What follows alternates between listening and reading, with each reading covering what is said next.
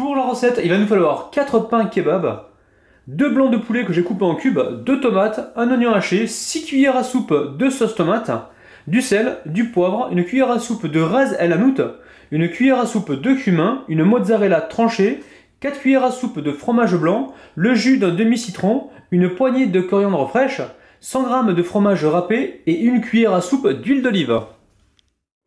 Alors, dans le poulet, je vais verser donc mes deux épices.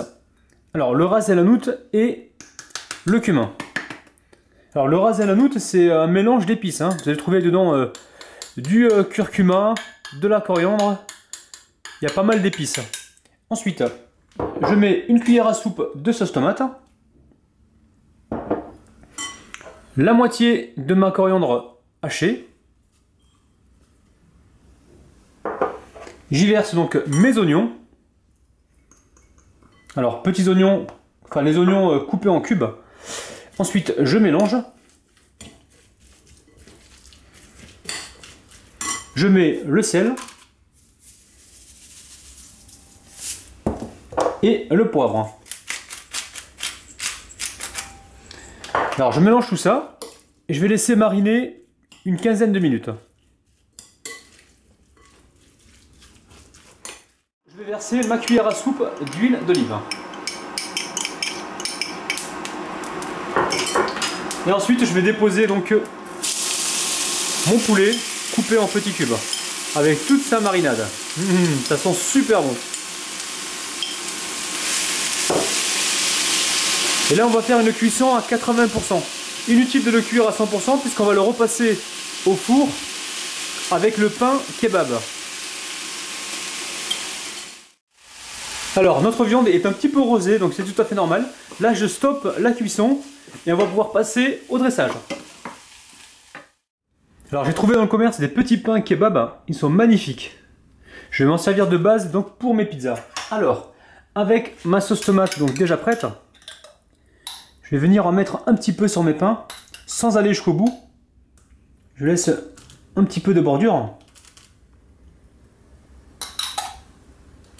Voilà, et je fais la même chose avec le reste de mes pains. Ensuite, je mets le poulet.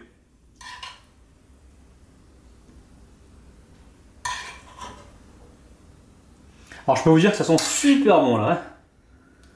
là on a vraiment les odeurs des épices.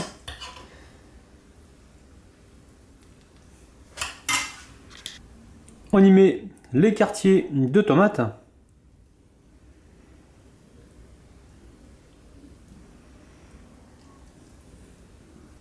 On met les tranches de mozzarella.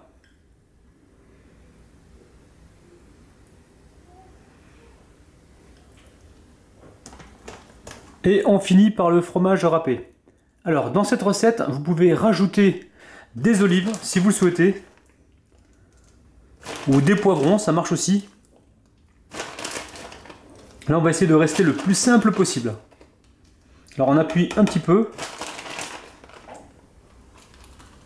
Mon four est en train de préchauffer à 180 degrés et on est parti pour une cuisson entre 8 et 10 minutes. Hein. Allez, on surveille.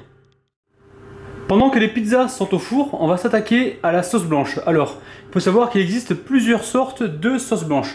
Je vais vous en montrer une qui est très facile. Alors, dans le fromage blanc, je vais y mettre du poivre. Je mets également un petit peu de sel. Je vais mettre donc le jus de citron.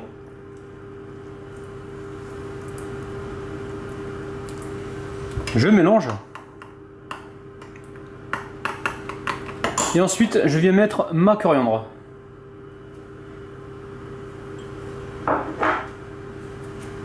Et là, je mélange tout ça.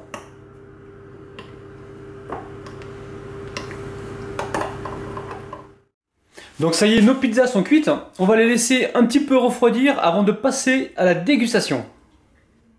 Alors on va goûter cette petite merveille. Je vais y mettre un petit peu de sauce blanche.